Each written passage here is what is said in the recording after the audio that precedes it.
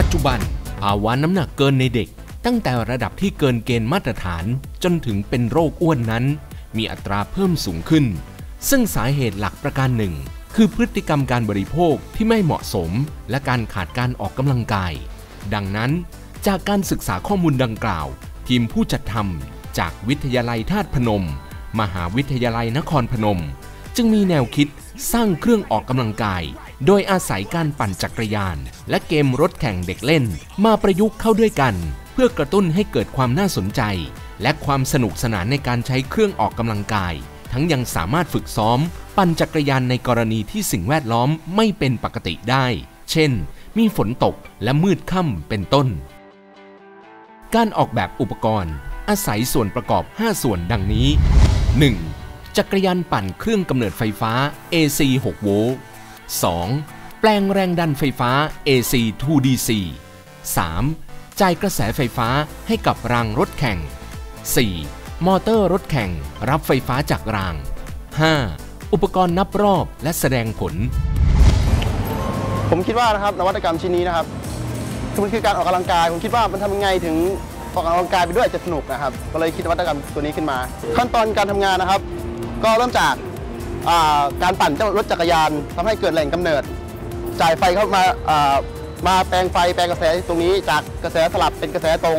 เพื่อเข้ารางนะครับ แล้วทำให้รถวิ่งถ้าอ่าหลักการง่ายๆของการปั่นก็คือถ้าปั่นเร็ว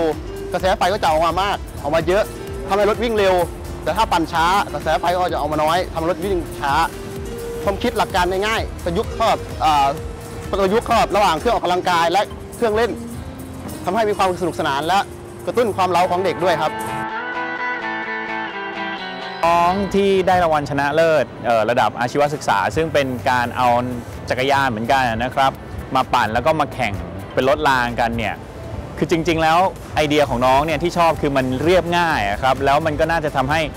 น้องๆ เยาวชนทั้งหลายเด็ก ๆ นะครับ หันมาเล่นทั้งปั่นจักรยานรวมไปถึงใช้ ความสามารถจากการที่ตัวเองปั่นจักรยานเนี่ยให้รถมันแข่งกันเนี่ยก็น่าจะทำให้เด็กๆ น้องๆ ทั้งหลายเนี่ยสนใจในการออกกำลังกายเพิ่มมากขึ้นครับ จริงๆแล้วผมคิดว่าแนวทางในเรื่องของพวกเทคนิคอาจจะไม่มีอะไรแต่คงเป็นเรื่องของการออกแบบให้น่าสนใจเพิ่มขึ้น เช่น ถ้าเกิดท้ายสุดเรามีการแข่งขันกันอย่างเงี้ยครับก็คือแข่งกันปั่นจักรยาน แต่ว่าดูจากความเร็วรถนั่นนะครับมันก็อาจจะเช่นถ้าเกิดสมมติคนไหนที่ชนะไฟจะขึ้นมีเสียงหรืออะไรก็จะทำให้มันดึงดูดใจเพิ่มมากขึ้นครับผม จริงๆแล้วเป็นแนวความคิดที่จะทำให้ดึงความสนใจของคนที่จะมาออกกำลังกาย ซึ่งอาจจะเป็นแนวใหม่นะฮะเราจะเห็นภาพจากว่าไปมีเกมในวิดีโอหรืออะไรเงี้ยนะฮะแต่ว่าความเล้าใจเนี่ยมันคงจะสู้ของสดนะที่เขาสามารถประดิษฐ์ แล้วก็สื่อสารระหว่างการออกกำลังกายกับเครื่องที่จะออกมาคล้ายๆดิสเพย์แสดงให้เห็นว่าโอ้มันสนุกนะ มันมันมันมันมันเคลื่อนไหวจริงนะ คือไม่ใช่เฉพาะในวิดีโอเป็น 3 มิติ ซึ่งผมคิดว่าอันนี้เนี่ยจะทำให้เยาวชนและเด็กเนี่ย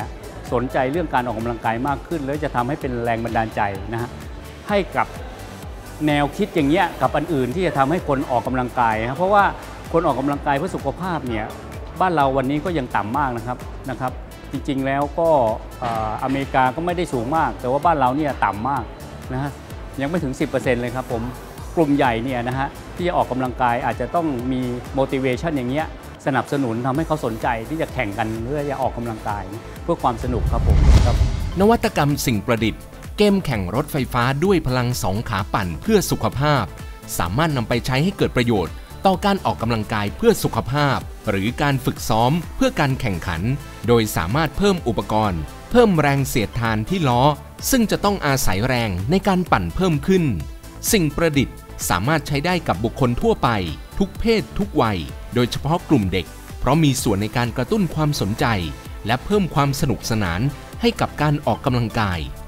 จากสิ่งประดิษฐ์เกมแข่งรถไฟฟ้า ด้วยพลังงานสองขาปั่นเพื่อสุขภาพ ส่งผลให้ทีมจากวิทยาลัยธาตุพนม มหาวิทยาลัยนครพนม ได้รับรางวัลชนะเลิศ ประเภทอาชีวศึกษา ในการประกวดนวัตกรรม ด้านวิทยาศาสตร์การกีฬา ประจำปี 2557 ที่ได้สร้างแรงบันดาลใจให้กับนักคิด เพื่อต่อยอดผลงานนวัตกรรมสิ่งประดิษฐ์ ด้านวิทยาศาสตร์การกีฬาของประเทศให้ก้าวหน้าต่อไป